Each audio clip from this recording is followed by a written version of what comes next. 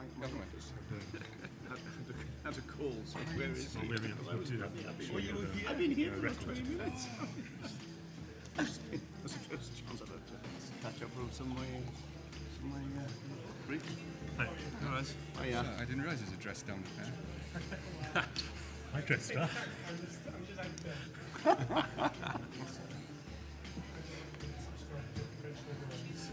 I'm, I'm catching a train at 5.15. Yeah, so I might have to leave at 5.2. Are you So if I get up and walk out, don't think are because I'm in, Are you going in a mood. I should... You shouldn't tell Yeah, us but that. somebody will have to feed me the line. Are You you should wait until I'm speaking or something. It's- it's so I mean. I, ideally, I mean, because I, because I, I, I was intending to go on the same train because I thought we were starting at quarter two, but uh, you know, obviously, I had long timings. Anyway, we'll see. Yeah. I've got a train. We're in. Might as well as well.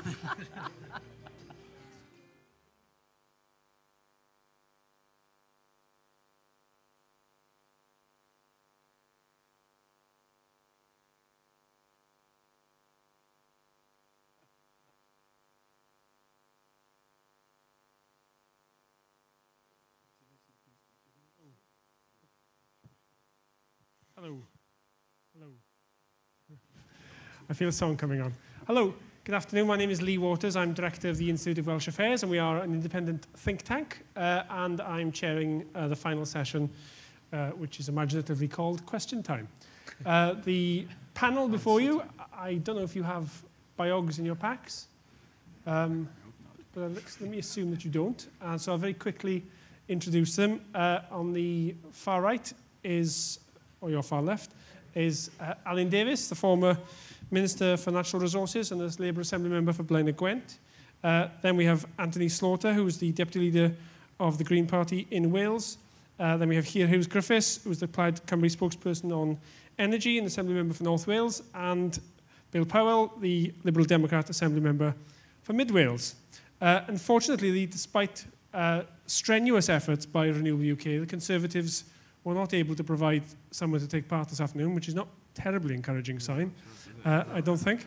Um, and UKIP have missed their train, which I think is some kind of tortured metaphor. I'll let that one hang, I think. Uh, now, the, uh, the, the BT servers have been going overtime today with all the uh, tweets suggesting questions. Uh, we've had two. Um, So I'm, I'm hoping to capture the energy in the room after a, a full day of uh, what I'm told has been a stimulating uh, discussion. There'll be lots uh, to ask uh, the panel. Um, so perhaps I'll uh, start off um, by just giving each of you a couple of minutes to uh, make an opening statement and perhaps uh, frame it like this. What do you think the election result means for the future of renewables uh, in Wales and in the UK more broadly? And and Alun, perhaps I'll uh, start with you, being as you've got your clever glasses on. We can expect profound thoughts. But it means I can see you at least. uh, do you know, the, look, put, putting aside the fact that I find the election result one of the most depressing things that's uh, uh, happened for, for quite some time, I'm concerned about a number of different areas where I simply don't think the Tories give a damn. I don't think they particularly give a damn about us here in Wales. Um, despite uh, Cameron's impressively early visit to a brewery in the Gower, I'm not convinced that they thought, they thought out where Wales sits in United Kingdom. You know, they, they've got far more ideas about the devolution to cities in Northern England than they have to us. Now, I'm support what they're doing in England. I think it's a good thing. I, I'd like to see, see more of that. But I, I am concerned that they don't know how we sit and where we sit in that overall um, program of things. And in terms of energy, you know, I, in government, attended uh, UN climate change conferences with the then coalition government. And to be fair to Ed Davey, I thought he did a really impressive job speaking up for um, uh, the forces of, of, of righteousness. But, you know, he was, you know, he didn't suffer from a sort of Stockholm syndrome affair, but he was very much, you know, a creature of a coalition. And the coalition Uh, I heard ministers, uh, Owen Paterson is the obvious example, tell me in Brussels, in, in, in, in Council of Ministers meetings, that he didn't simply didn't believe that climate change was happening and that none of these issues that we were discussing were a priority for him. And my feeling is that Owen is closer to the centre of gravity of this government than Ed would have been. And as a consequence of that, I, I, I don't see that the, the new UK government see uh, renewables and see a clean uh, energy policy as being anywhere close to the top of their priorities. I see them uh, looking hard at how they can manage um, the political difficulties around Paris and the rest of it, but I don't see them coming up with innovative, fresh ideas for how we can make renewables the norm and not the exception. So I don't know if that fully answers your question, but I, I feel that we're in a very, very difficult situation in Wales. I don't think the St. David's process, it wasn't an agreement, it was a process, it was a, a, a, a statement from the Conservative Party in government, um, pays enough attention to providing Wales with the freedoms and the headroom that we need to design our own policies in the way that we need to design them. So I, I've got very real concerns about all of that. I can't blame you for having a free hit because there's no Tories here to defend themselves. But let me just try and put the, the case for them. So uh, the, a number of influential Green commentators have said that Amber Rudd is good news. She is personally committed to climate change. She was the junior minister. She's supportive of the tidal lagoon, not keen on onshore wind uh, or solar farms, but generally gets it and will do good things. And you're in government in Wales. You were obviously a minister who is well regarded, but the government as a whole doesn't have a great reputation for following through the rhetoric with, with action. And there are lots of schemes in the pipelines. There's very encouraging words in strategies, but in terms of potential realised, perhaps you should look in the mirror before casting aspersions on the Tories. I, I don't think that's an entirely unfair criticism. Uh, in terms of, of, of uh, Amber, I, I agree with you personally. I, I got no issue with Amber. I simply don't think she's going to be at the centre of government. You know, Owen forced himself into a centre of government simply because of the politics of the Conservative Party at the time, and he spent a lot more time in number 10 than I think Amber will. And uh, as a consequence, I simply don't see the politics being there in order to push this agenda forward. And that's not a, a reflection on her as an individual or on her as a minister. It's a reflection on where the politics of the Conservative Party are. In terms of the, the, the Labour government here in Cardiff, as I say, I, I think some of your criticisms are, are fair and valid, and I say that uh, as, as a former minister responsible for these, uh, the, these matters. You know, there's, there's some very good officials, a couple with us this afternoon. I can see, see you there, don't worry. Uh, but I, I think there has been a lack of clarity in terms of setting objectives and setting timelines and setting very, very clear ambition, ambitious targets for where we want to be. You know, um, one of the things I tried to do in government wasn't simply to issue sta uh, statements and strategies, but, you know, I, I'm sure somebody, I hope somebody here remembers this. I did publish a statement uh, a year last September saying, in the following year, we will have done the following, and we will have achieved the following. Are very, very clear in order to set that target, set targets and set directions and deadlines. And I think in Wales, we're better at strategies than we are at targets, and we're better at talking than we are at achieving those targets. And I think if there's one thing that I would say to um, people writing the Labour manifesto for next, uh, for next spring, don't just put a lot of soap in that manifesto, a lot of rhetoric. Use the word sustainability as often as possible. Put numbers into that manifesto. We will deliver the following by the following timescale at the following date. Hard targets we, where we can be held to account for what we do or don't do. Okay, there's lots there you can come back on, but let's, let's give everybody on the panel a chance to have their say. So, Anthony, Anthony Slaughter, your reflections on the, the election result and its meaning. Um, when I was talking to the organisers about this a few months ago, it seemed like a really exciting prospect because we'd probably be in the middle of all sorts of interesting negotiations right now. Who's talking to who and how are we going to get this through? And then on the night of the count, you know, talking to colleagues in Plaid and Lib Dems, and it, well, no one's talking to us now. But in terms of where it these renewables, I'm still talking to you. there go my poll ratings. That's, what told me. In terms of renewables, I think there's some mixed messages. Over a million people voted for the Green Party. So there are people out there who want this message, who, who get the message. The key thing that we take away from is the unfair voting system. It is broken beyond repair now and it is indefensible.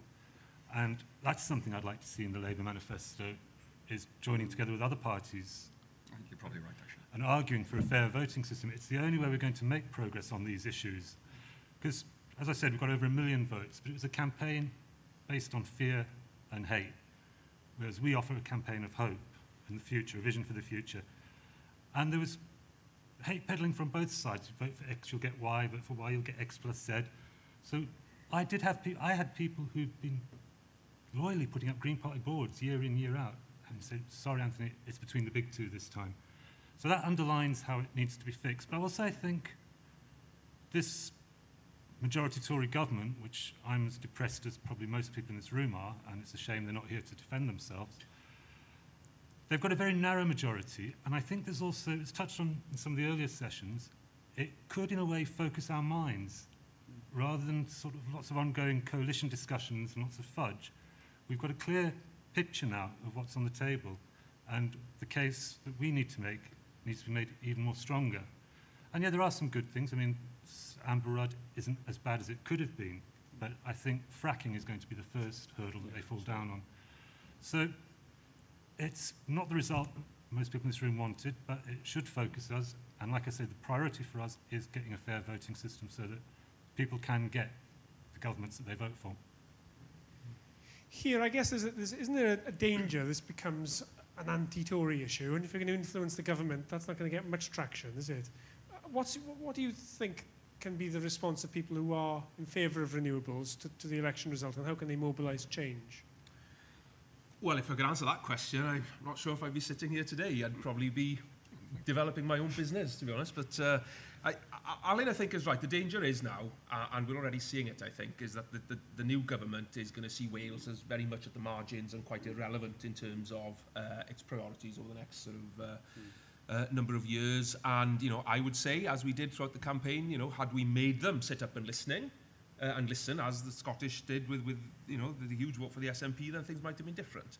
Um, so despite Labour saying that they'll be standing up for Wales, I'm afraid that even Labour now are not going to be in a position where, uh, you know, we're going to be able to do that. So we're very much at the mercy of this uh, Tory government. Now, for me, that focuses the mind in terms of maximising the powers that we can ensure that are devolved to Wales so that we can actually take control of as much of our own uh, destiny as, as possible uh, in the face of that threat, but particularly in relation to uh, renewable energy. I think uh, the point made about fracking, we're going to see a huge ramping up of that narrative and financial support for fracking, uh, likewise with nuclear, uh, and of course that means sucking out resources from other potential uh, energy uh, investments, which is bad news for, for all of us in the room here today, I, I presume. So it doesn't augur too well. Um, and you know, a fortnight after that election, we're awaiting the Queen's speech, of course, you know, and we, we've heard the rumours and we've seen a few lines in manifestos, and, you know, if our fears are, are sort of realised, then it's not going to be good. Um, and at this moment in time, I, you know, I don't know if everybody else feels as helpless as I do, but we're very No, much at the mercy of this helpless at all. government. No, Well, this is going to be a long hour, isn't it? Yeah, it is, yeah. it's going to be a long five years. Uh, Bill Powell. Thanks, Lee. It sounds as though we're, all- we're all in need of therapy, really. And, uh, and, uh, I think this is it, I- isn't it? yes. I mean, I must say, I, I, I find it difficult to disagree with pretty much anything that's, that's been said um, so far um, on, on, the, on the panel. I think uh, Alun's analysis of the, of the election result and the fallout is, is, is pretty much spot on. I mean, the, Jeff Lean, the uh, environment editor of the, of the Telegraph, a relatively enlightened um, uh, journalist for, for that particular newspaper, said that Amber Rudd, uh, at least she isn't a headbanger, uh, and, and that's true. But nevertheless, uh, she is.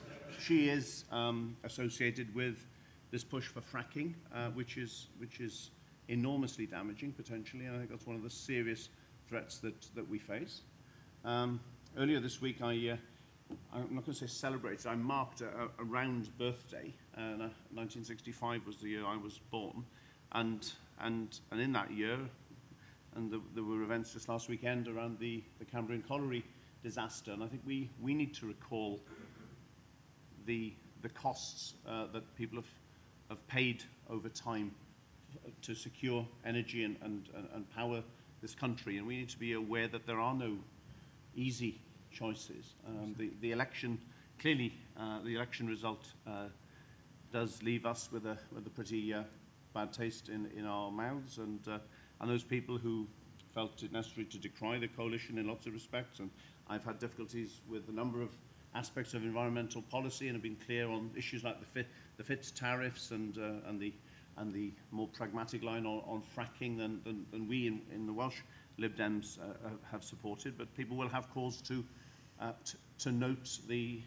the difference between the, the government we've had in the last five years and the red meat eaters that, who are now in charge. I mean, that is absolutely clear. But there, there are opportunities here. We've got uh, the other winners of the election, clearly the SNP. You've got a situation there where, where, where we're going to have significant concessions to, to Scotland, and I think the time is right for Welsh Government and, and hopefully more than Welsh Government, but also a, a wider uh, coalition of opinion in Cardiff Bay and across Wales to actually push for greater powers. And, and it'll be difficult to argue against that in the context of, of what is going to be on, on offer to Scotland. It's also very uh, depressing uh, that uh, the Green Investment Bank is unlikely to acquire the borrowing powers that uh, would potentially have, have been available to it. And I think that is something that, that is a matter of regret also. But I hope we'll find some positivity in the next uh, 45, 50 minutes and, uh, and uh, that I'll be able to contribute to that. But those are my initial thoughts.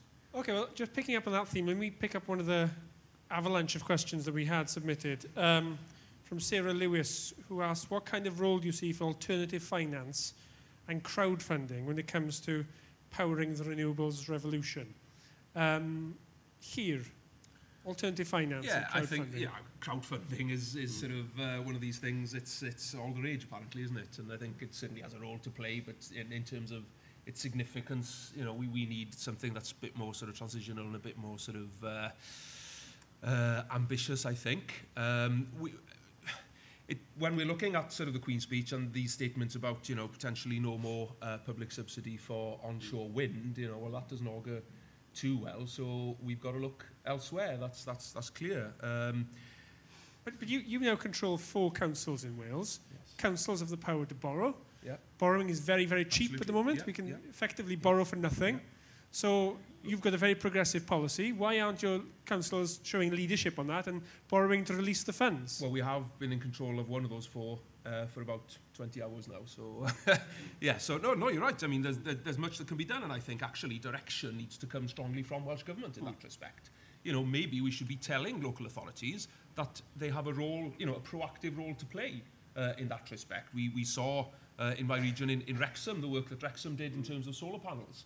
Uh, and, you know, that, okay, linked to the fits and everything, but it, it, there was a sort of transitional, sort of attitudinal change uh, amongst a lot of people living in some of those housing, uh, social housing in, in Wrexham, where they actually realised, you know, the, the direct tangible benefit to them of having the solar panel on their roof in terms of, of costs, uh, but also in terms of, of, of carbon emissions as well. Um, now, you know, we, we need to look at uh, giving local authorities a more formal role. We, we know of Thamesway Energy, you know, and the work that's happened in Woking. It's quite often held up as an example of what could be emulated elsewhere. And I think, you know, that's a positive. Um, we, we need to look at um, uh, energy services companies, you know, and that model being sort of more proactively encouraged through central government in partnership with local authorities. And, you know, we're looking at local government reorganisation. Well, let's look at it in, in a wider context. And I certainly feel they're in a position to be able to deliver a lot of this on the ground. Uh, and there are examples that we can point to that ha- are working and have worked. And, you know, why shouldn't we be uh, a bit more sort of encouraging in, in sort of trying to replicate that? But let me, just push you back on that, because rather than saying let's expect the Welsh Government to mandate local authorities, you are a, a party in power. You control one sixth of Welsh councils. You could do something about this, put your money where your mouth is, and, and access the money that is available. But at, at, I, I agree, but at a time when uh, local government reorganisation is in the offing, at a time when all of these pressures around them, they're firefighting day in, day out, I'd forgive all councils for not having prioritised that, um, but because it's not on the radar. In terms of your manifesto for next year, you, that could be one of the things Uh, that yeah, you put in. absolutely, absolutely. Yeah, yeah. Okay, any other thoughts on the panel before I go back to the audience on, on alternative finance and crowdfunding? Uh, yeah, please. In, in, I, I- I disagree with Llyr on this. I, I, I think that the, the white paper that Leighton published um, last uh, two months ago actually provides local authorities with a general power of competence, which will, I think, free up some of the legal issues which some local authorities feel that they have in terms of doing this. But fundamentally, uh, and this is why I do disagree with Llyr, I think what we, we haven't done is bring together social, economic, and uh, energy policy with what we're trying to do in terms of alleviating poverty, and we can be doing this. Um, we, you know, I, I wouldn't say Welsh Government doesn't have a role in this, but I, I, I don't think we can say it's right to say local government won't do this because Welsh Government isn't doing it first.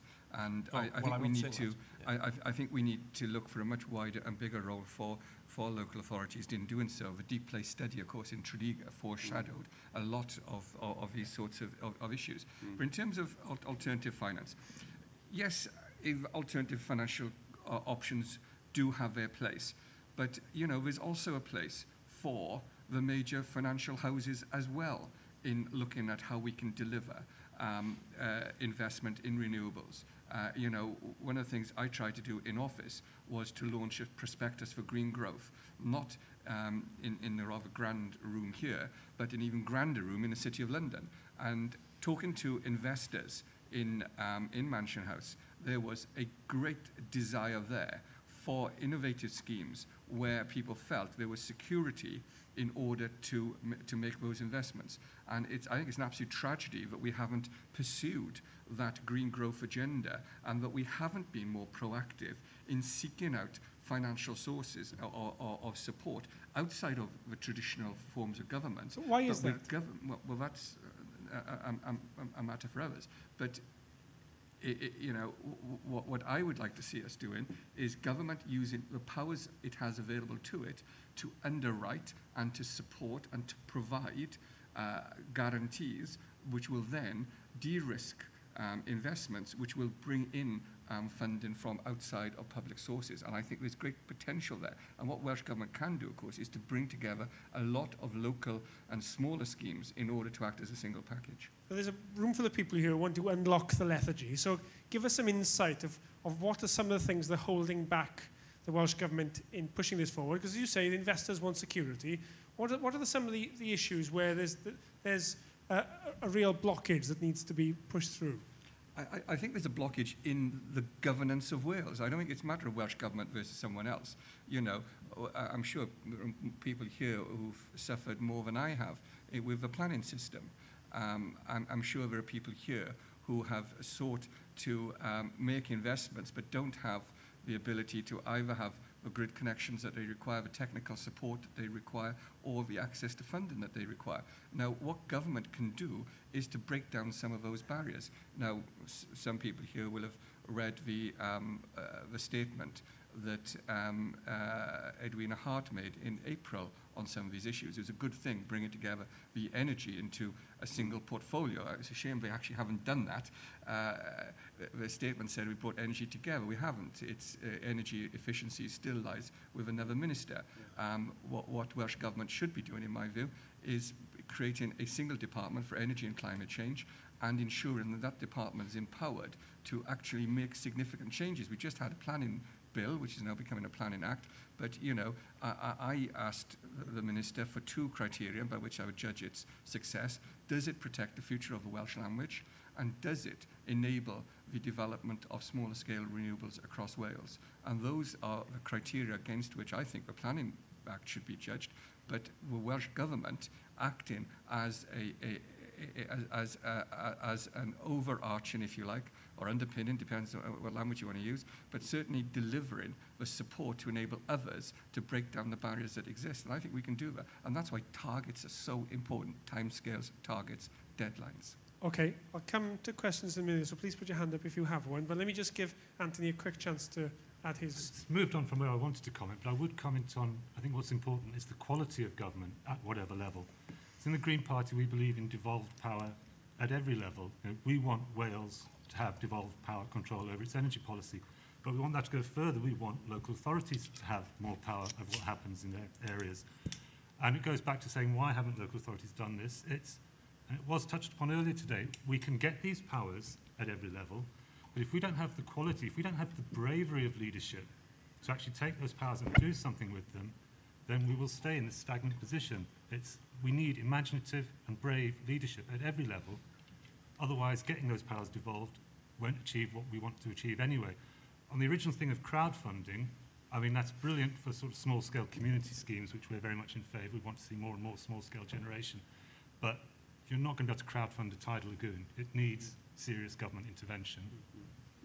Okay, Bill, if you forgive me, I'll come back to you. I- So I don't want to go across everyone for every question, um, but I'll come back to you for the next one. So hands up, please, if you have questions, and could you please say who you are? I'm Tim Melville from Lightsource. Um, I was very disappointed from all the parties for not raising the issue of climate change and renewables in the general, general um, elections. And I think, if I may say so, that places guilt upon all of you, upon this Conservative government, who can actually say it wasn't an issue raised at the election, and therefore we can ignore it. Thank you. Any other questions before we go back to the panel?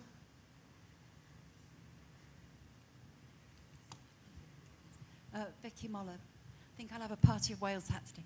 Um, I think if, if um, community renewables were made permitted development within criteria, they might follow the path of PV when that was made permitted development under a Plaid Labour coalition. So back on the first one, Bill, because before you got into government, climate change was very much something the Lib Dems would bang on about, but there wasn't much mention of it in the election campaign. I think it's fair to say that, uh, that it, it didn't have the attention that it deserved um, in, the, in the campaign just gone.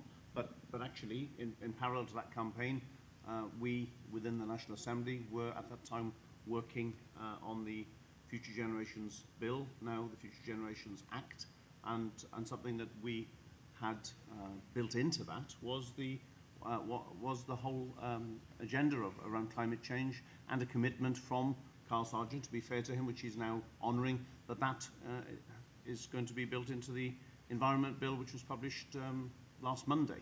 So in terms of what we can do here at a Welsh level, I would argue that we're, we're not doing enough, absolutely, absolutely clear, but we are, we are doing uh, we are doing something and we need to raise our game. So I accept your point, but, uh, but we, are doing, we, are, we are doing something uh, in that area.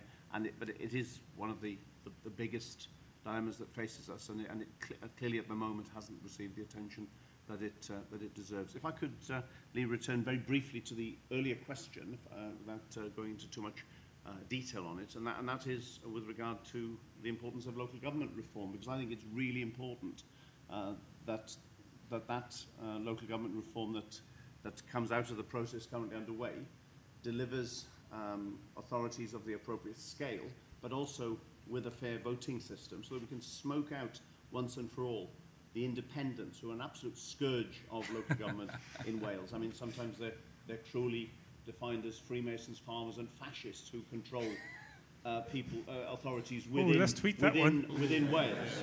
And, and, and I think it's really important that, that they are smoked out once and for all, and a fair voting system will make it impossible for them to sustain the stranglehold that they have on Wales currently in certain of our rural authorities, and that will actually be to the benefit of, uh, of the planning system, but also to the benefit of our uh, climate change agenda. Well, both you and Anthony have eulogised about the potential of local authorities, but there's a room full of people here with experience of dealing with councils across Wales. Hold on a second. Sorry. I'm finished a question, yeah? Uh, uh, who, who will be not quite so uh, sanguine as you are about the benign power of local authorities in, is, in untapping the potential of renewables? So is this, a, is this, a, is this a faith that's well placed? Just by having bigger local authorities and getting rid of some independence, is that really going to make much of a Well, difference? I think, I think it'll make it'll, it'll make a contribution because it'll bring clarity to the debate uh, that uh, that takes place at election time, and uh, and for the reasons that the gentleman in the front row indicated earlier, I think these these are issues that people are not going to be able to ignore anymore. Before I come to Anthony, just on the Future Generations Bill you mentioned, in- in terms of practical difference that's going to make, because for me it falls into the category Alun was talking about earlier about, about the, the warm words and the, and the flim flam. Um, you got it. You got it. I'm, I'm paraphrasing. Uh, you, were, you, uh, within the spirit of what you said, for sure. Um, but you know, you, you just said got the government to strengthen an explicit commitment to climate change. But in practical terms, in terms of getting applications through and changing on the ground, what difference will that make? Well, that, that very much is, is, is going to be worked through now in the in the environment bill, and that is the third and that is the critical piece of legislation that arguably should have come before rather than, than, than, than where it is in the, in the order. But uh, it's Well, going the to provide, Right. Yeah. it's going to provide a, a, a, a structure within which NRW will have to work. And, uh, and that will advance, I would argue, that would advance the agenda that- you've But that's, that's the environment bill, of course. I mean, in mm. terms of the Wellbeing of Future Generations mm. bill, what it'll do is it'll create 22 public service boards, one for each local authority in Wales. And Alan said earlier, we're very good at attending committees, mm. but how good are we at turning those into tangible differences to mm. people's lives on the ground? Uh, we have local service boards, uh, not the shining beacon of delivery in my view. No, um, and now we're putting those effectively on statutory footing. Um, so there are huge questions, mm. as far as I'm concerned, about uh, the practical application of the principles that are espoused mm. in the bill, which we all subscribe to, I'm sure, yeah. um, and that's the proof of the pudding, clearly. Uh, I'm not convinced that delivering those through 22 public service boards is the best way to do it. Clearly, especially with the local government reorganisation in the offing, you know, we might have to start again with six or seven, I'm not sure. But, but, but there are key issues there. But in terms of climate change, of course, it's the Environment Bill now that will deliver statutory climate change targets Yes. for Wales. Um, and that's a positive that we've been calling for for very many years, and we're glad now, at least uh, at last as well, that the government are actually doing something about that. But the Welsh Government already has climate change targets. It hasn't made much of an impact on, it, on the policies it delivers. Yeah. So why do you think this will be any different? Well, I, well, hopefully it'll focus the mind. Putting it in statute, I think, will underline the priority that should be afforded to it. And hopefully we'll see a government moving away from decisions such as the abhorrent decision that was made by Carl Sargent uh, when he was housing minister, at least responsible for planning, uh, when they reviewed uh, Part L regulations, uh, building regulations, on energy efficiency of houses, the government, the Welsh government, went out to consult on a 25% increase improvement and a 40% improvement, uh, and they decided on an 8% improvement. Now, if that's the level of ambition that this Labour government in Wales has in terms of tackling carbon emissions from uh, new build housing in Wales, then we are in deep, deep trouble because that locks in that inefficiency for the lifetime of that new house, which is, you know, hugely uh, serious because we, it'll cost us in the end to retrofit those new houses, you know, a few years down the line. And I think that was a retrograde decision.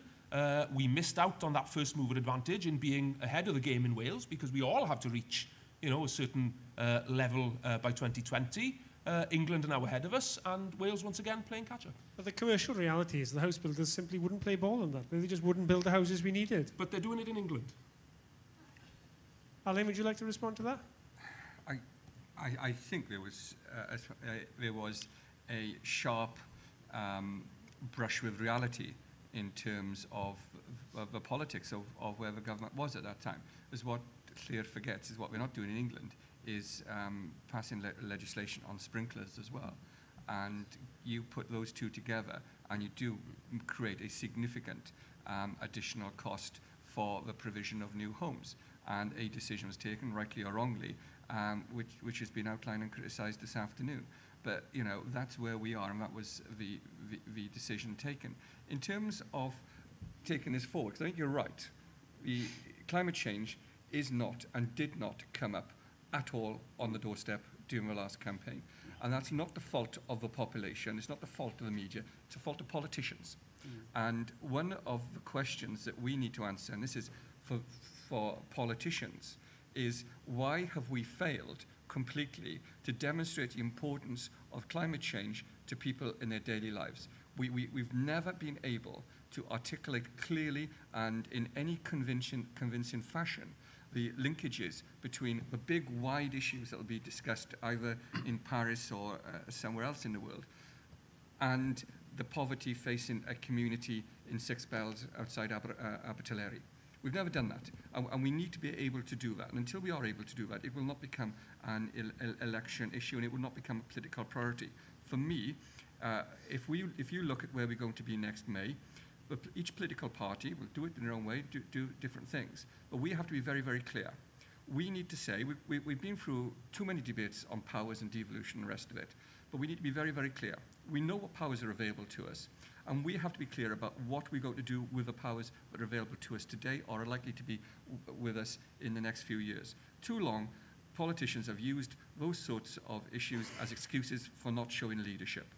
I look at things like the Deep Place study, which was done in, in in my constituency, Google it if you haven't had the opportunity to look at it, where you bring together solutions for clean energy, for social policy, for economic development, and the eradication of poverty. You don't do it in separate uh, silos. You don't give it to separate ministers or don't talk to each other. Uh, what you do is you put it together as a single holistic dim, uh, program for a community. And if you do that, then you will have people opening a door and talking about the issues which I, I, w- I wish people would talk about. Anthony. I have to um, have something to say on climate change. You've got to at the Green to talk about surely, this. Surely not. Thank you for asking. Um, it was talked about on the doorstep a lot, and the question I was asked a lot was your very question. It was deeply frustrating. The televised debates, the radio, we got more attention than we've ever had before, which was great. We were taken seriously. And then that one topic, you really had to fight to get it in, and then it was usually edited out. It was, and it is the political establishment's fault. Five years ago, everyone was falling over themselves to dress up as the Green Party. We were promised the greenest government yet ever, and that worked out really well, didn't it? It's, it's crucial. It's the issue of our time. All other issues, social justice, inequality, they're all interlinked, and our policies reflect that. We have three strands running through all our policies. It's, we've got to harm, we've got to repair the damage that's been created to our planet by an unfair economic system. We've got to create a more equal society where everyone shares the rewards of that society. And we've got to create, revive democracy so that those first two things come about. It was, I did lots and lots of hustings, as I'm sure everyone else here did. But I did three school hustings and one Woodcraft folk hustings. And they were noticeable because they were the first, the first three questions all of those events were about climate change, why aren't politicians talking about it, and going on to what we'd strayed on to, does the Future Generations Bill mean anything to me? And I'm on the side of the cynics at the moment. I think we have a Welsh government that can churn out warm words. I hope to be proved wrong. The words are a step in the right direction, but we need to be having these crucial conversations. And I'm so glad you asked it, because if I didn't get asked it from this audience, then we, we really do have to give up. Can I, can I just pick up on, on what, was, what Alun was saying about the economic, the social and the environmental? Of course, you know, that, that is key. But, you know, this government isn't utilising the opportunities that they already have to deliver some of that. I mentioned Part L regulations, look at retrofitting. You know, retrofitting will deliver jobs because the work of retrofitting those buildings needs to be done. It'll deliver on fuel poverty, so that's the social agenda, and it'll deliver on carbon reduction, so that's your environmental. Those are the three elements of sustainable development, the holy grail of sustainable development. And what we have, of course, are Arbed and uh, Nest and, and a few other schemes, very laudable, but the scale of those schemes is, you know, it's practically negligible in a sense. Um, and if this government tell us that they can find around 1.2 billion pound to build a 12 kilometre stretch of motorway around Newport, then I'm sure it's not beyond the will of this government if they really wanted to do it to find the 2 billion pound, maybe over 10, 15 years, that's needed to retrofit the one third of uh, the Welsh housing stock that isn't up to standard at the moment. And that's the kind of investment that a Plaid Cymru government would be looking for in terms of delivering on the economic, social and environmental agenda that this current Labour government is actually failing to do. Alun, you don't look convinced. I never heard him say it when I was a minister, that's why. Uh, You weren't I- listening then, I. I, di- I, did listen, and I protected, as you know, um, the budgets for all those different schemes Yes, against that's quite great. significant cuts. But they really Um, need to be ramped up. Yeah, but let me say this. I, don't disagree with you on the M4, you know that. I, wholly oppose the proposals to um, build across the Gwent levels. I don't think that's anywhere close to where any government which claims to have a sustainable transport policy should be. You want to And I- build other roads instead, though. Pardon? You want to build other roads instead. I'm, I'm not saying that we shouldn't build roads at all. I'm saying that we, we need to build roads where there are no alternatives to doing so. You know, I've made it very clear, and, you know, you tweeted about it. Uh, the, among, amongst other things you've tweeted, uh, that um, I think the clear transport priority for the next Welsh government, wherever the politics of it, should be the South Wales Metro, because that is going to have the biggest single impact, both on the alleviation of poverty, the uh, leading to green growth, I hope, and also uh, meeting our climate change targets. But to go back to Llyr's um, uh, point on the um, Nest and Arbed schemes, I think, I, I, I think they do a great job for what they do, and I've seen that in my constituency. But what we need to be doing, and what I hope is going to be happening over the next few months, is that the Welsh Government will go out to consultation to reinvent those, pro- those, those projects and programs for the, the, the, the next few years. They're both coming to an end at the moment.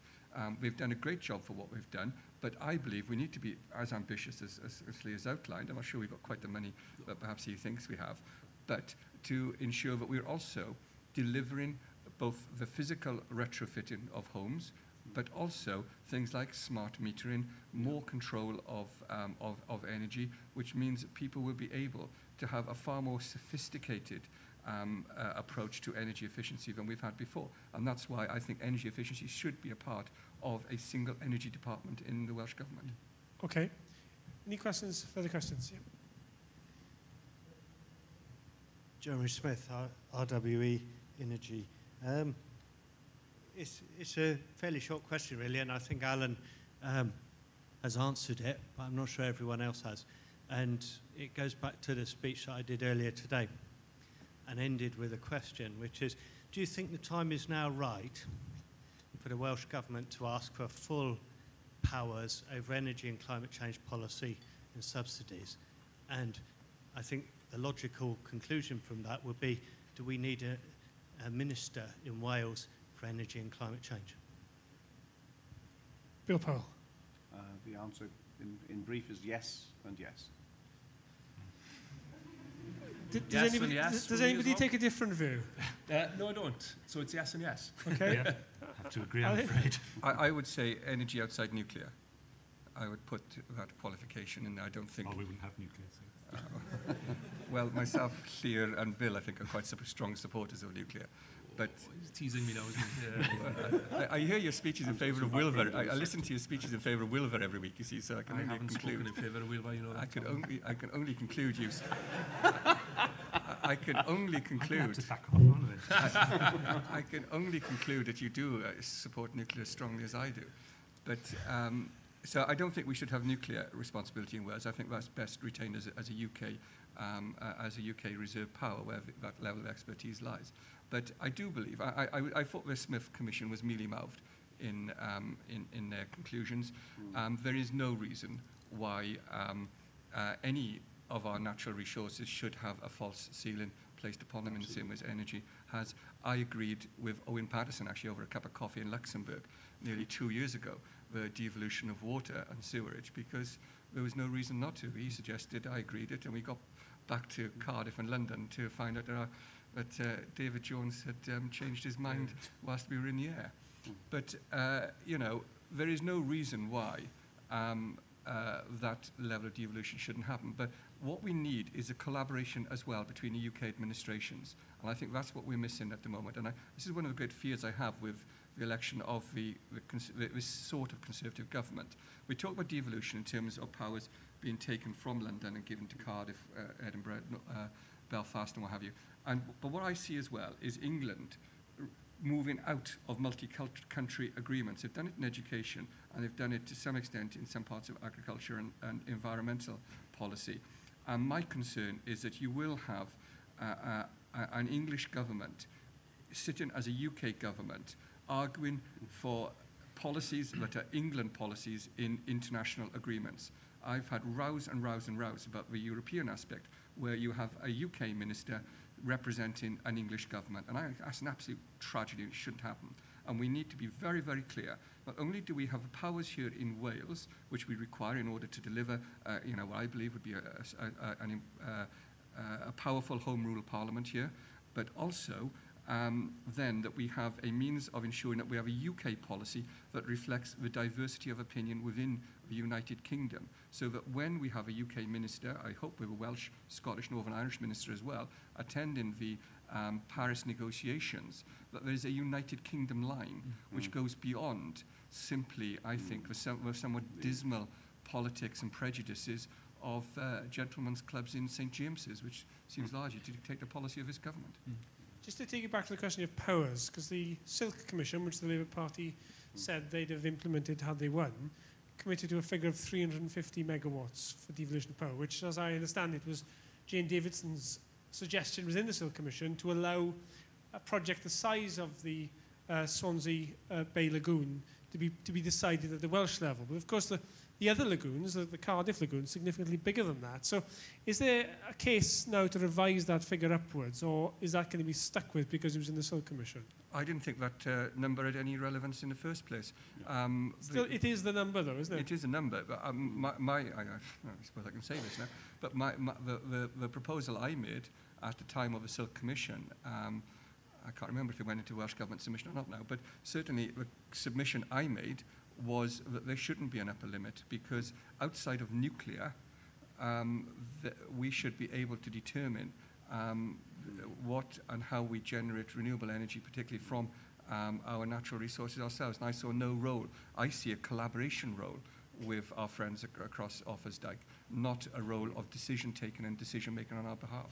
Okay, we've only got 10 minutes left, so if you have questions, now really is the time to, uh, to pose them. Rosie, can I just ask you all about the planning bill just passed uh, this week and, and the impact that might make to implementing renewable energy schemes in Wales? B- Bill Powell.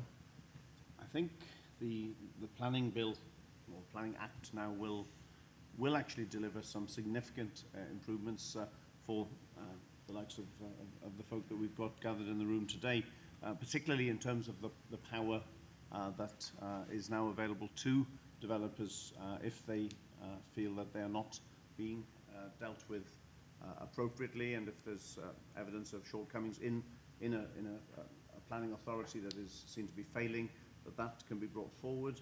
Um, a number of uh, a number of issues uh, that will streamline things. Um, there there are elements of an over centralisation uh, that I think would have been that, that would have been usefully mitigated by a third party right of appeal in certain limited circumstances and and I uh, alongside Llyr and uh, and others sought to, to bring that forward. But I think on balance we, we are looking at a, a planning system that should be better placed to deliver, but crucially, uh, it's going to be the next tier down in terms of the, the technical advice that sits underneath the legislation, which is going to be critical, and that we need to watch very, very carefully. Here. Yeah, I think um, the unfortunate thing about the planning bill as it was, uh, was that it actually moved power up the chain. Uh, it took key decisions further away from those communities that are directly affected by many of those decisions. Now, that's not to say that we need a system that allows for developments of national significance, etc., to be made at another level, because obviously there will be a national interest for, for, for many of those developments. Um, but the, the key thing for me, uh, or one of the key things uh, coming from the planning bill now, is the National Development Framework that's proposed. Um, it can be one of two things. It can be another Wales spatial plan, which I hope it's not, uh, because that, uh, I think, just sort of disappeared to irrelevance. Um, or it can be a, a much more dynamic uh, framework that actually changes um, the, um, the landscape in terms of the potential for energy projects and renewables and gives a strong political lead, if you like, about what the direction of travel is. Now, I am still rather unclear as to what the, frame, the, the NDF will look like. Uh, because whilst you'd expect it to be identifying Energy Island and sort of certain areas and uh, enterprise zones and you know all of that kind of thing, um, there was provision in the bill uh, around planning blight. There was provision in the bill around compulsory purchase, uh, which makes you think that actually this could be a very, very specific and very localised uh, framework as well. So we wait to see you know, where we go with that one, but I think it does offer huge potential uh, because we see, for example, you know, what, what they've done in Scotland uh, and the framework that they've developed there, mm. uh, and I think it could set out uh, huge potential for, for the energy uh, sector in Wales and renewables particularly. And it would probably mean that we review TAN 8 as well. Anthony? Mm. I think the proof will be mm. in the implementation. I mean, some good moves in some good directions. I agree, I don't like decisions going higher up the chain, especially for local community, local community projects. Um, as was touched on, it's the legal advice. Again, go, going back to my earlier cynicism, is it just warm words, or are we actually going to see this translated into practical, supportive measures? And I do hope so, and I think broadly it's a step in the right direction. Alun, you alluded earlier to ministers not talking to each other. Uh, you also mentioned the change in responsibility for energy going into uh, Edwina Hart, who doesn't have a reputation for talking to people, but she has a reputation for getting things done. But you also mentioned that the slight obfuscation in the statement of energy being pulled together, but in fact, in the reality, the way government works, that, that's not happening. D- What do you, do you think the move into putting energy with economic development is something uh, which people in the room should be encouraged by? Well, I'm certainly not encouraged by where you sum up my remarks sometimes. Tell me which bits I, got I wrong. you, you, you get me into even more trouble than I can get myself into. But can, can I say, in terms, to, to answer your, your question directly about planning, uh, um, I think the work of NRW, I think the work that Emyr Roberts has done, I spoke to him earlier, I don't know if you're still here, Emyr, but um, I, I, I think the work that NRW have done in actually clarifying um, a lot of permitting and consenting arrangements has made a huge difference already in terms of planning. I know not everybody might see that at the moment, but certainly the culture change and the ability now of NRW to actually work uh, more effectively, I think, is, is something which will stand us in good stead in the future. Um, I'm not as pessimistic as others about um, the Planning Act. I think it'll provide a good balance between new strengthened local authorities. Um, the, the one thing I would say about it, which I did, um, uh, which I was, which did disappoint me, was that um, planning was uh, not taken from national parks and given uh, to local authorities. I think that would have clarified um, arrangements in a way whi- which would have been beneficial. But um, certainly, I hope that the new planning authorities, which emerge from this seemingly endless period of local government reorganisation reform that we I seem to have lived in for most of my life at the moment, that it, it will provide both certainty and consistency and clarity across the face of a country. You know, one of the things which I think really frustrates people is if they see a project very similar to their own being given consent and permission, you know, in another authority, yet they've been waiting five years in, in their own authority. That's both unfair and wrong, and we need to clarify those sorts of arrangements. We need to see a much greater presumption in favour of renewables um, and, and renewable energy production, particularly on a community level, not simply on an individual business base, but on a community level. I can think of numerous communities who've really been let down by, um, by the system of governance, not just uh, local authorities, who've been uh, supportive of the, was it the All projects and have been in, in a position whereby enormous amounts of work and effort and time have been invested only for enormous amounts of time, work and effort to be invested by another arm of government preventing that happening. And we've really got to move away from that. So that is how I will judge the Planning Act in years to come. I don't share the cynicism of others on the panel about it. Yeah, My question on energy and economic development coming together, Are being, being devolved. energy coming into Edwina Hart's department. I, I, Thank you, Keir. you know, I, I, would, I wouldn't, um, I, I, you know, I, I, I said to, in answer to an earlier question, I would see energy and climate change as being a department in its own right, but I, I wouldn't necessarily criticise movement of, of energy into, into the economic portfolio. My concern is that we have a focus on energy and its part in the community of Wales and in addressing issues around climate change. And I think that's got to be something which has got to be departmental. I don't think it works if it's not a departmental responsibility. Okay, uh, time is against us, so just, just to finish, uh, just quick question to you. A year from now, we'll be reflecting on the Assembly election results. Um, back to the first question we had about climate change being mentioned, and the question on let's move away from warm words to targets. Will you be arguing for a strong emphasis in your party's manifesto, both on putting climate change as a prominent issue and in putting targets in your manifestos? Bill Powell. Thanks, uh, thanks, Lee. Uh, we certainly will be uh, looking to put uh, climate change uh, central uh, to, to our manifesto and, and to have uh, uh, deliverable objectives that we can be judged um, by during the, the lifetime of uh, that assembly, whatever numbers uh, we are given by the electorate uh, next May, and that is obviously a matter of that is well beyond our current uh, control.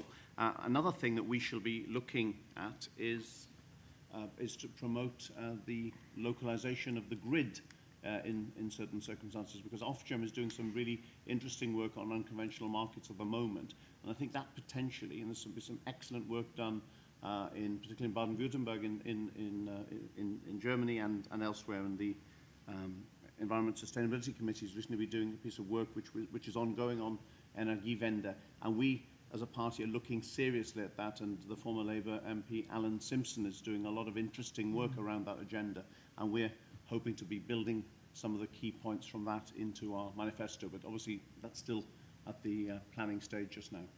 Okay, Anthony, fairly easy question for you. Um, yeah, climate change will be, will be there. It'll be page one. That's reassuring. It'll be the core. It'll be the core of our policies, as I said. Those three strands. It runs through everything we do. It will be there in many ways.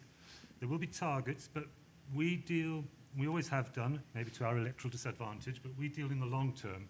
Our targets are for 2030, 2050. We're talking about. You know, we share the aims of zero carbon Britain. We're aiming for that kind of society. So much, much longer term targets. The other thing that will differentiate it in terms of energy and what we're proposing to the Welsh electorate next year is ours will be the only one that unequivocally has no room for nuclear in a future energy mix. We are absolutely against nuclear. We do not see a role for it. As explained earlier, it is not economic, it is dirty, it's dangerous. We shouldn't be thinking of it. That will be one of the things we will be pushing quite hard, that and fracking. And I think climate change will be a bigger issue in a year's time, almost in a way, like lots of other issues, some social justice issues will as well, just as a reaction to Yeah. what's coming in the next 12 months. Absolutely. Okay, Alun, final word. I feel like we could be starting coalition negotiations.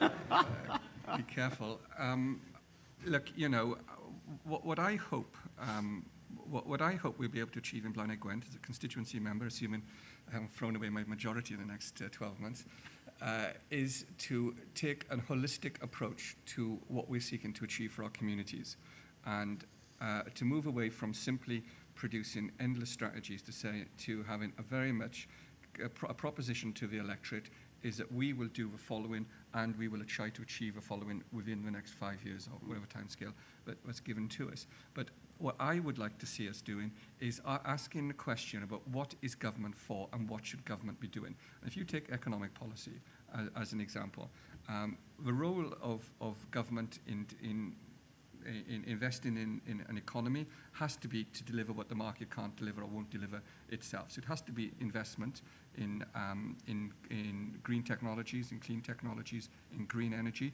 We have to create the environment in which investments can take place, and we have to do that pro proactively.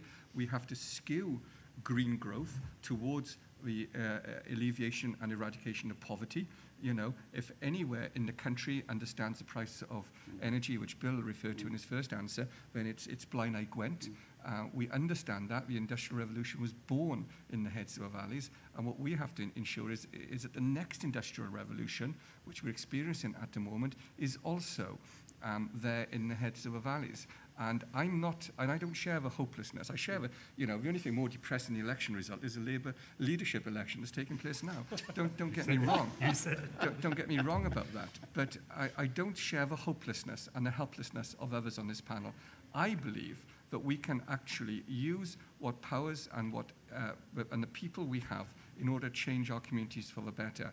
And I hope that in Blaenau Gwent we can certainly do that and that the Labour manifesto will be a manifesto about the people of Wales and how we can change our lives and change our futures and bringing together climate change not simply as a chapter one of a first page of a second page, but as a fundamental part of every aspect of our policy portfolio and our policy offer. I have offer. a copy of the manifesto. Great, thank you very much. Just a very brief word about um, what the IWA is going to be doing all of this, because we've decided to make um, a, vision for uh, uh, um, Wales which was self-sufficient in renewable energy, one of our key priorities over the next 18 months. And we uh, published a report on the economy recently that Gerry Holtham authored, which is on our website, free to download, which had a detailed chapter by Professor Gareth Wyn Jones on this uh, ambition. And we're now pulling together a group of experts to try and drill down to see what the practicalities are for delivering that. And we hope to be doing that over the coming months. So if you're not already a member of the IWA, now is a good time to join up and help us to deliver that uh, vision because uh, we are a charity and we can't do it by ourselves. Uh, you, hopefully you'll get copies of our magazine uh, as you leave. Um, so I'd be grateful for your help on that. But please uh, thank the panel and I'll just hand back to David. Thank you.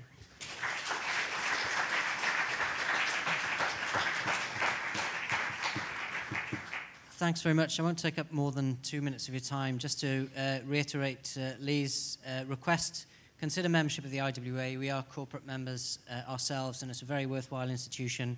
uh, just as long as you've joined us first, because uh, the, uh, the industry is only as strong as the membership, and we rely on your support for events and membership in order to create the kind of spaces that we've had for discussion today.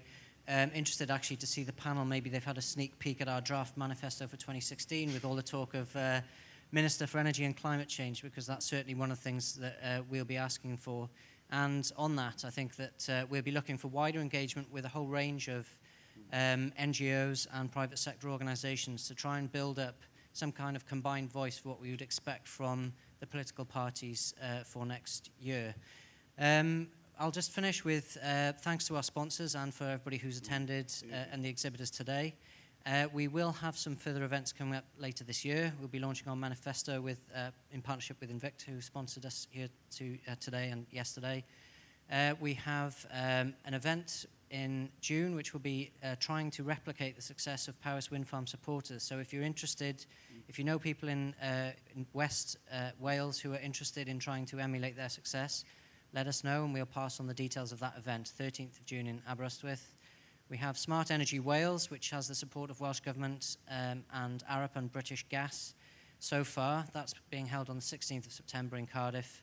And then uh, the social highlight of our calendar is the Wales Green Energy Awards, which is being held in November this year.